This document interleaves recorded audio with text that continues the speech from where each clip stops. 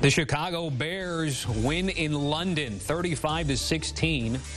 Caleb Williams, four touchdown passes on the day. The first went to Cole Kmet. Kmet catching two touchdown passes from Williams, also adding long snapper duties as well.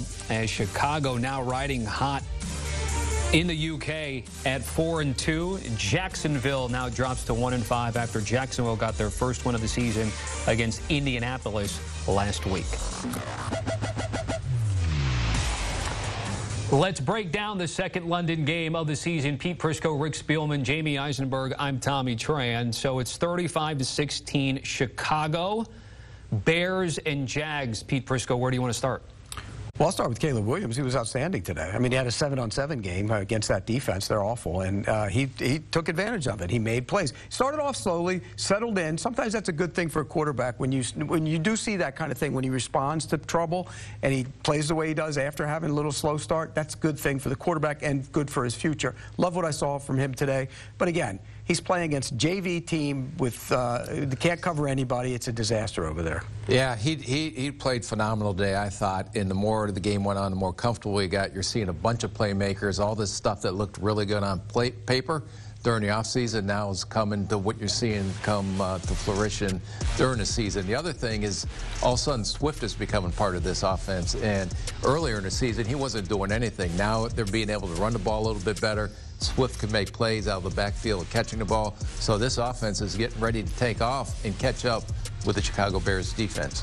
Three straight outstanding games for Swift and three solid games for Caleb Williams. And, and you said it, Rick, the playmaker stepping up. You know, we haven't seen Cole Kmet when everybody's healthy do what he did today, you know, clearly two touchdowns, but um, he stepped up a couple games ago when Keenan Allen and Rome Odunze were out. He has a big game with the two touchdowns. Keenan Allen didn't do anything really since week one, five catches, 41 yards, two touchdowns. Now you're having to defend a lot of different players, and that's tough when the quarterback is starting to get it. And so, uh, offensive line played much better as well. How many times was he sacked today? Probably not very much. He got sacked three, couple, three sacks. Okay, so he got hit a few times. But um, you're looking at a team that's really starting to come into its own offensively. And like you said, they're missing some guys defensively. Brisker, for example, was out in the back end of that defense. So to be able to do what they did today, Jacksonville, however, is an absolute dumpster fire right now. Like, what are they doing, Peter? Are they firing Doug Pederson or are they keeping him? I don't think they'll fire him this week because they're staying over in London. But if they somehow lost next week, I think they would fire him. But they, they need to start all over again. Shad Khan is in London, uh, has meets with the media and says, "Oh, I firmly believe in this group." You can't believe in this group. Look at the mess they put on the field. It's disgusting. It, on one drive, they cut the lead to I think it was 24-10. They cut the or 21-10. They cut the lead.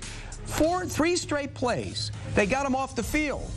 They had uh, too many men on the field, got another chance at it. Stopped them again, got a holding penalty. Stopped them again on third down, had another holding penalty. They go in and make it, they get a touchdown, the game's over. They're sloppy, they're unorganized, it's a mess. The play calling stinks, the defensive coordinator is awful, and the general manager has no earthly idea what the hell he's doing. It's time for him to go. He's like a cockroach. Everybody gets blown out, and he somehow survives. It's ridiculous. Uh, they have to blow it all up, and as sooner the better. You interested? No.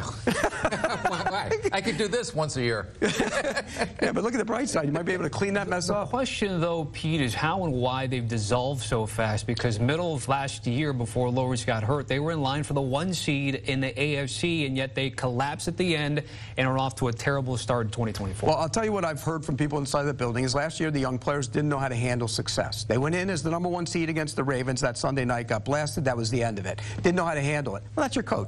Okay, then you go back into this season, the owner comes out and says, hey, look at this roster. It's the best they've ever had in the history of the franchise because he's listening to the general manager because he wants to put the pressure on the coach. That's what happens. You have split. Everywhere Trent Baalke has been, he had a split. Jim Harbaugh, split. He hires Jim Tomsula. Why? Because he can control him. That's all he wants. Now he brings in the defensive coordinator. I've heard that was his choice. That guy has no earthly idea what he's doing. He rotates guys in like they're hockey players. It's ridiculous. First series, the guy gets the first down, out come the starters, in come the backups. Linebackers rotate like they're hockey players. It's a mess. They're terrible. It's a mess. They're going to ruin that quarterback. You know what they need to do? Hire somebody who can run the organization from a football standpoint, who can hire a general manager who can do the football standpoint, and then hire an offensive mind like Ben Johnson to fix it. I'll just say this. Other than that, how was the play, Ms. Lincoln? we were up there two years ago when we actually went together and handled uh, training camps. And uh, we were up there and we thought Trevor Lawrence, and you were big on your soapbox at the, at the training camp. I was standing on a box. You were standing on a box, Wearing teal, literally. wearing teal. Yeah, wearing teal, and your uh, Jackson mayor of Jacksonville deal. But we were thought that Trevor Lawrence, after what we saw at the end when he brought them back in that playoff game win against the uh, Chargers, that he was going to be MVP and going to be in all these MVP conversations. And then it had a big downturn, especially the second half of the year last year. So I don't know what's going on, but I still think Trevor Lawrence is a really good quarterback. For whatever reason, something has disconnected since what we saw, you know, in that playoff game in the first half of last season. I don't know what that is, but they go and give this guy 55 million a year. Uh, I don't know whose decision that was, but the way he's been trending downward, was that the right decision to get them that kind of contract? Yes, A- and and look, he had a drop the opening drive. You go get a touchdown Yeah, there, it Gabe might be Davis. different. Then you saw Gabe Davis drop another touchdown pass. Then you saw Brian Thomas drop another touchdown pass. He throws a terrible interception. Here's why I think he's gone bad. This is my theory. I think the offense is disjointed. They throw to the side way too much. They don't throw down the field. Did you see anything down the field early in the game? No. You got Brian Thomas. He can go down the field on anybody. You don't throw down the field. They throw all sideline. The other part of it is all we heard last season was, and on into the reg- eh, on into the offseason, don't let him turn the ball over. Don't let him turn the ball over. He's turned the ball over way too much.